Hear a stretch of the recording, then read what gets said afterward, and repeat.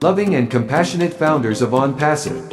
We are on a journey that will take us to the dreams and hopes that all of us have been looking waiting for. Everything in life calls for faith and belief in something our something is on passive. There have been many bumps on the road but on passive has survived.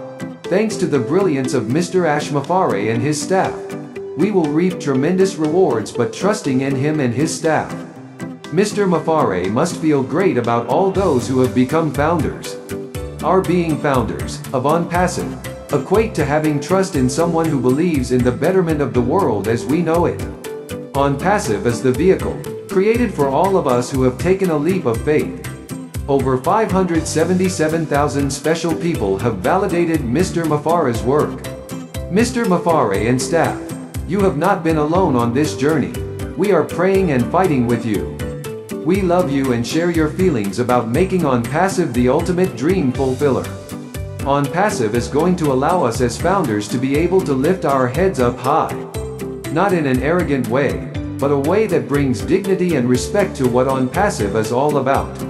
The helping of humanity touches all our hearts in On Passive. Founders will be able to help people who need help. So do not feel guilty about the wealth that we will acquire with On Passive because we can help more when we have more money to do it. Look at the children who are orphans, who need loving homes and loving people to adopt them. Having the financial resources would make a big difference in their lives. The widows will be helped by OnPassive's founders. The world will have fewer animal shelters, fewer homeless shelters, fewer homeless living on the streets, less hunger in the world. The more On Passive blesses its founders with its resources, the more we can give others who are needy. Let us keep the fire that's burning in our hearts for those who are in need. Do not let anyone put out that fire. We are all in this fight together. John White, USA. A Bill Must Production.